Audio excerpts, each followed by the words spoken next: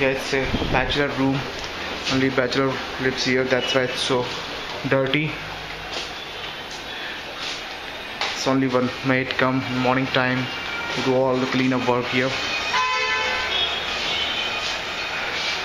And bachelor really don't care whether there's a ghost or not but I'm the guy who's living alone here that's why I'm so much scared